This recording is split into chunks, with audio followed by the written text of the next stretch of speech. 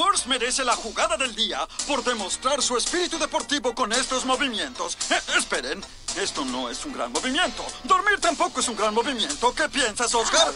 Ya entendí. Dormir es importante para un buen deportista. Bien dicho, Oscar.